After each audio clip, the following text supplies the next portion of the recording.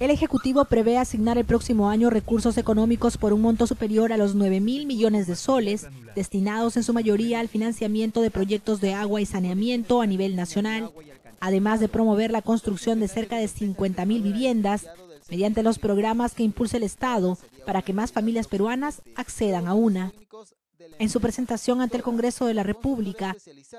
en su presentación ante el Congreso de la República para sustentar el proyecto de ley del presupuesto, endeudamiento y equilibrio financiero para el ejercicio fiscal 2018, el presidente del Consejo de Ministros y ministro de Economía y Finanzas, Fernando Zavala, precisó que el presupuesto de la función saneamiento asciende a 6.871 millones de soles,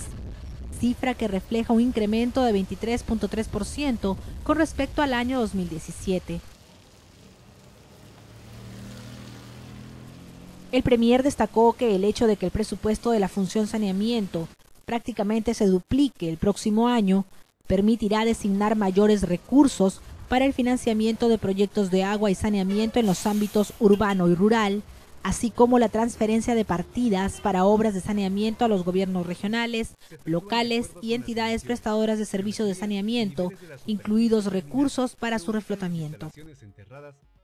Como metas concretas, precisó que la ejecución de diversos proyectos permitirá realizar nuevas conexiones de agua potable en beneficio de 821 mil peruanos que hoy carecen de este servicio.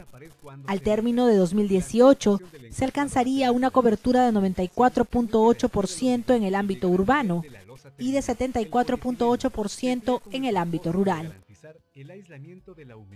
Asimismo, los recursos incrementarán las conexiones de alcantarillado en beneficio de 890 mil personas a nivel nacional,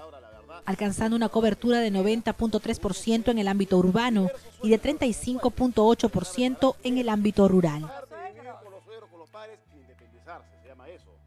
Y lo más importante que tienen que aprovechar es que estamos en la etapa de prevención.